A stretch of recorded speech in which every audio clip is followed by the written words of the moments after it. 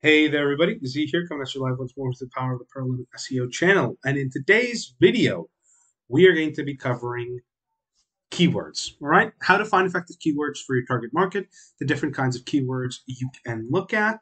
We're going to be covering a lot of things, okay? First and foremost, we're going to start off with what we covered yesterday, all right? In yesterday's video, we covered how to effectively find a target market for your website, okay? Just a few things, five out of almost 20 steps you could do, but it's a good idea to get just some general information about your target market. Okay. Now, in today's video, we're going to be looking at using that information to find um, keywords, right, for your blogs, for your websites, as well as determining keyword uh, strength, um, you know, ranking data, all of these things. Right. So first and foremost, I'm going to be using the idea of car accidents for this. right? I find that's going to be the most effective um, keywords out of everything. So for example, I'm just going to type in car accidents here. Car accident, right? I'm going to search it. And immediately a bunch of things pops up. Uh, this searches in the United States, just be in mind of that. So if you're searching from India, the UK, this might be slightly different. But in general, the keyword difficulty is ranked as hard. Okay, what that basically means, it, it means that you, they estimate you'll need backlinks from about 212 websites to rank in the top 10 for this keyword. That is effectively what they're trying to say. Okay, now that's the most important thing when we look at it here. Okay, you see that difficulty there? We're going to go to just um, matching terms over here. Okay, we're just going to go to matching terms, and we're going to look at this here. So you can see there's a lot of keywords that match this, right? Uh, so let's come back to uh, back here. So now this is what we call a short tail keyword. It's a very broad keyword, which means it's going to be super difficult to rank for unless you're already out there and you have a really powerful domain or website uh, in terms of ranking. Okay, now let's make this into a long tail keyword. If you remember from previous videos, short tail keywords are super broad, not specific. Longer tail keywords, and the longer they get, become more and more specific hyper specific. Okay, so now we're going to change car accident to fatal car accident. Okay, and suddenly we've cut the difficulty by more than half. Okay, our volumes and our traffic potential, yes, they have been affected, but if we were a smaller to medium sized website, 30, um, 13 keyword difficulty is totally reachable. It's totally um, it's totally there for us to reach. Okay, so this can be if we're doing, a, for example, medical or logging or something. This keyword density perfect and well within our ability to reach. Okay, let's make it a bit more specific.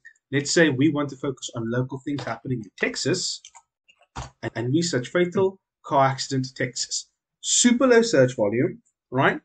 But it's within a reasonable um, reasonable margin to say that if we were starting out our website, this could be a keyword we could target. Okay, and you can see how effectively we've turned a short tail keyword into a longer tail keyword. Okay, we've taken car accidents, which is super broad, then we've made it fatal. Then we made it. Then we specifically said that it's happening in Texas. So we've got geographical data, we've got um, an incident that is occurring, and we've made a degree to that incident. Okay, so now we can start talking about this. So let's say, for example, there was an accident in Texas yesterday, right? And I am working at a local news um, news uh, website, and I tagline it "Fatal Car Accident Texas," right? Or person um, person involved in fatal car accident Texas, all right? There you can start to see how these keywords can start being effective for us if you know we are super low traffic or we're just starting out. Okay, we can use another example, for example, in another example, for example, in gaming, right? If I just said gaming, super, super hard, really hard to break into this, right? So um, let's make this a bit more difficult. I'll say online gaming, right? Online gaming. Just brought down a little bit, but still super difficult, okay? Um, and I search then um, USA, online gaming USA. That's brought it down a lot. Let's make it a bit more specific. Um, adventure, right? Okay, now we've gone a bit too far. So let's reword this. Uh, online, uh, sorry, online adventure gaming USA. Okay, now we now we can see that now we've gotten a bit too far. So this might not be a good keyword, but you can see the process that I'm doing to reduce the difficulty of the keyword, and it's something I highly recommend you do. If you go to matching terms, right, let's say, for example, we go back to gaming, right? Gaming USA or USA, and we search it.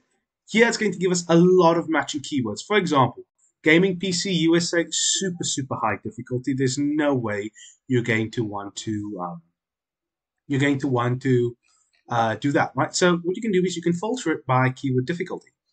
Okay, so that's uh, filtering by the top down, and now we're filtering from the down up. Okay, just give it a moment. Now you can see, for example, we can do some more things. Let's say we start from 1 and we go to 45, for example. Right? This is a very broad range. And we say show results. We're going to wait for a second. And now it's going to start showing us all of the different search results. Right? So you can see that within our breadth, this, this is a really difficult um, topic to break into. There are a few here that you can see um, are being searched. So using this and messing around a bit because every keyword is, is different, you are able to find exactly what it is you want to target in that target audience. If you're doing beauty and makeup, um, or you're doing a salon, different keywords, different areas, different demographics, different services, all these things can be taken into account to create the most effective um, presentation possible. Guys, I hope this was insightful. I hope this was helpful. Please let me know down below if you have any questions, and I will see you all tomorrow.